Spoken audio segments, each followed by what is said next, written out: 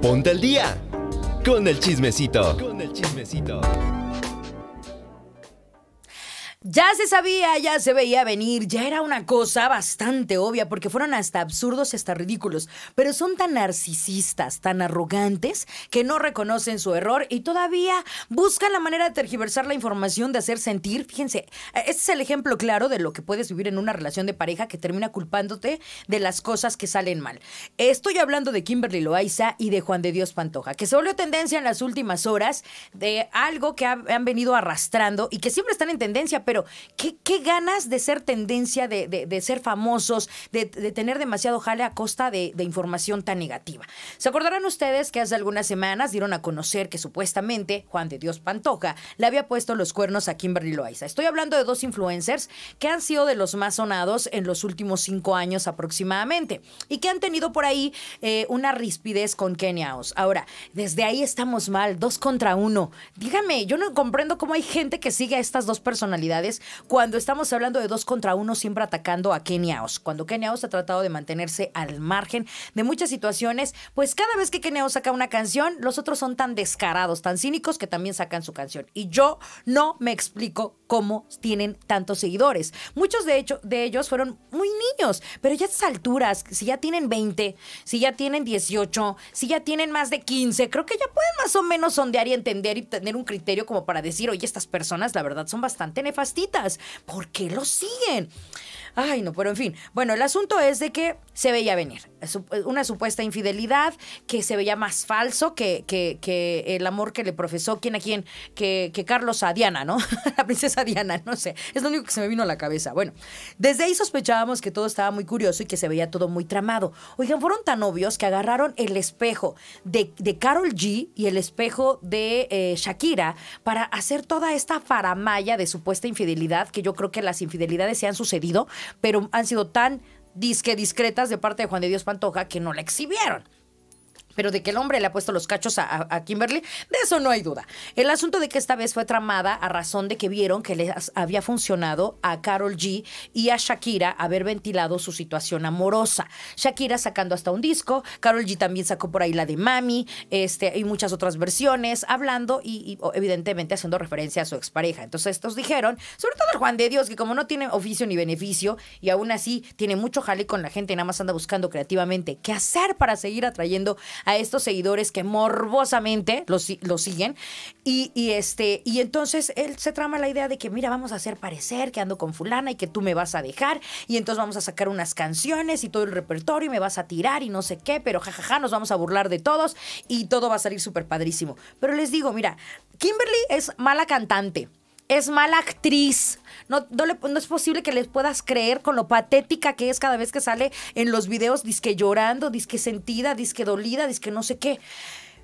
A mí me dio mucho coraje el día de ayer este, ver que ellos ya ah, reconocían el, que habían tramado absolutamente todo y son tan cínicos y son tan narcisistas que todavía te hacen ver que si tú lo creíste, es tu culpa que si tú eh, ya no quieres ser su seguidor, estás mal, que si tú como seguidor ya no eres leal con ellos, tú estás mal. O sea, ellos en ningún momento reconocen que actuaron mal, en ningún momento reconocen que están eh, equivocados en su forma de proceder, de cómo trabajan y llevan sus redes y su información.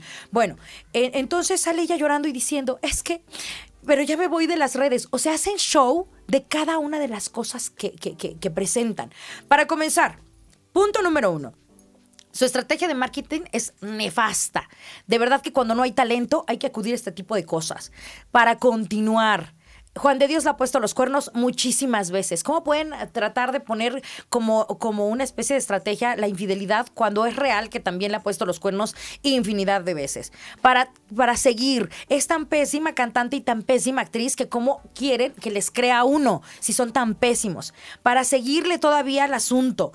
O sea, te dicen, cuando, cuando salió todo este asunto de la supuesta infidelidad, ella salió con tweets y con imágenes a decir, es que no, no es una estrategia, es que no, es que, es, es que no, este, voy a sacar una canción porque estoy dolida, es que necesito un tiempo para mí. O sea, todo el tiempo estuvo actuando pésimamente, porque jamás le creí, pero habrá seguidoras, sobre todo las chiquitas, las niñitas, que ahí están, ¿no? Siguiéndoles el, el, el, el- el business.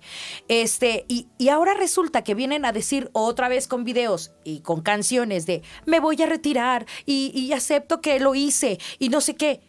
Y otra vez están esperando que la gente les crea que se van a retirar. Por favor, o sea, ¿cuántas veces no hemos hablado que otra de las estrategias que utilizan los artistas es el ya no voy a. la gira del adiós.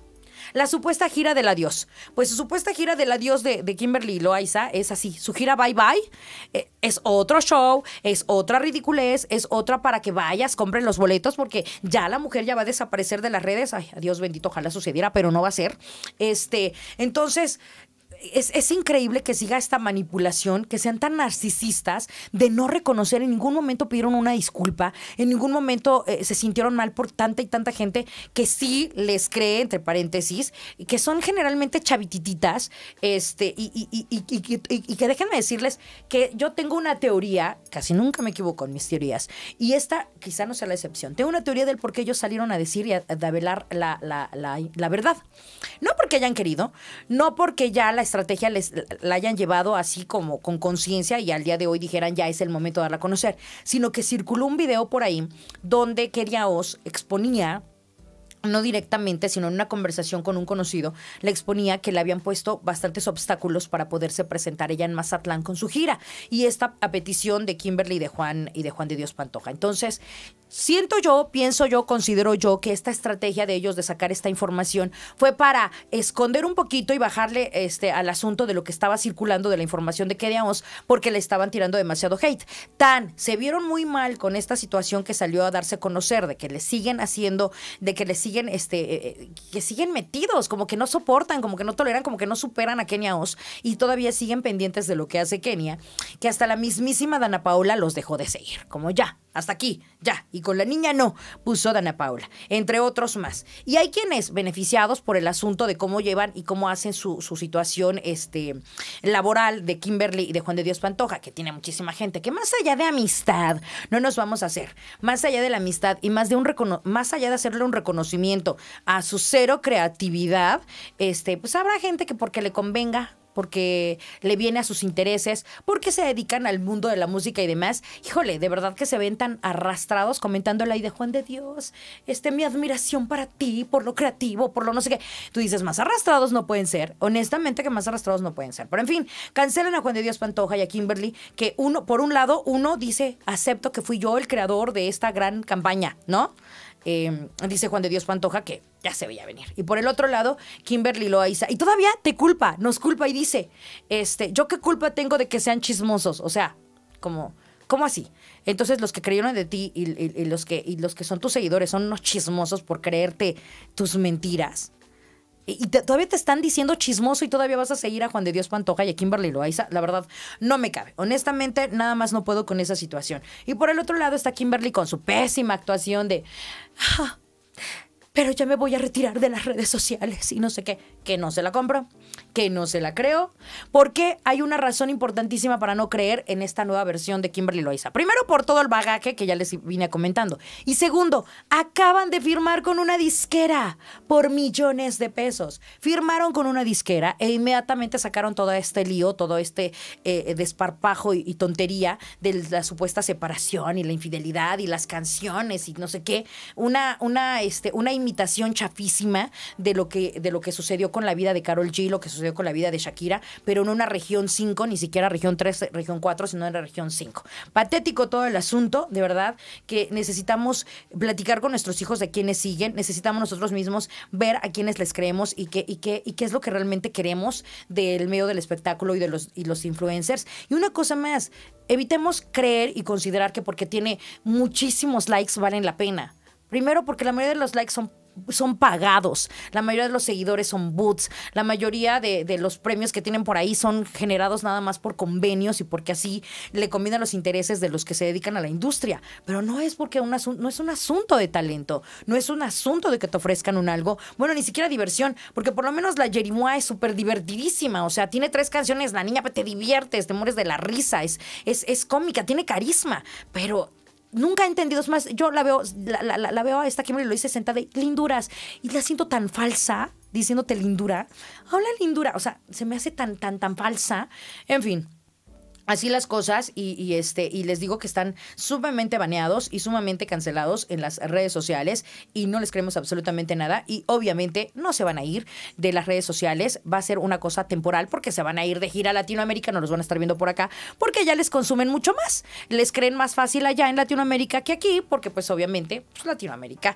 Y además porque les digo acaban de firmar un, un contrato millonario con disquera, entonces evidentemente no se piensan ir, simplemente es es dorar la píldora como muchos artistas de este año ya me voy, mi gira del adiós, para que llenen ustedes sus conciertos. Así las cosas, tristemente, ojalá ya la gente deje de verdaderamente consumir algo tan desagradable, tan falso como lo es el producto de Kimberly Loaiza y Juan de Dios Pantoja. En fin, así las cosas cuando son exactamente las 12 del día. Yo soy tu amiga Sonia Manzano y antes de irnos a la pausa comercial y recordándote que en la siguiente hora tenemos las complacencias y no solamente eso, además de las complacencias ya se va la pierna dorada con la dinámica que ya mencionamos. Vamos a dar al ganador en el siguiente bloque, así que pendiente si tú ya nos contestaste a las preguntas que hicimos, a la dinámica que hicimos, entonces se va nuestra pierna dorada. Pero antes, ¿estás angustiado porque tienes diabetes, alta presión? Colesterol, sobrepeso, mala circulación sanguínea, no sufras más. Jugo de Borojo Amazon Life es la solución 100% natural a estos y otros padecimientos.